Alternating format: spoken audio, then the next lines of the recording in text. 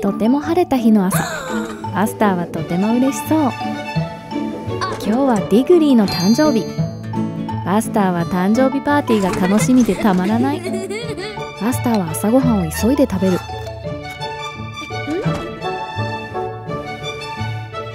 見てスカウトだ。ラッピングされたディグリーのプレゼントを持ってるよ。渡すのが楽しみ。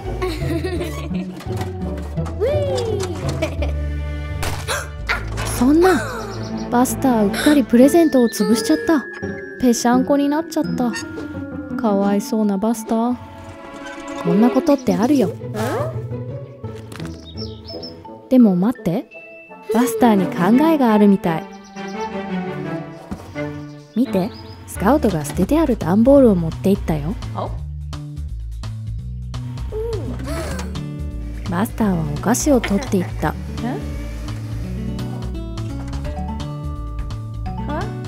木の棒もあったね。それにおしゃれな箱。2人は何をするんだろう。新しいプレゼント。でも中身は何だろう。バスターとスカウトはディグリーのパーティーへ急ぐ。遅れちゃいけない。ディグリーが待ってる。パーティーはもう始まってる。でもよかった。スカウトとバスターは間に合ったディグリーはプレゼントを開ける。うわピニャータだ。誕生日のディグリー棒で叩いてね。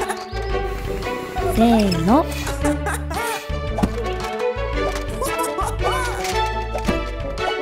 もう一度。パン。お菓子がたくさん。なんて素敵な誕生日プレゼント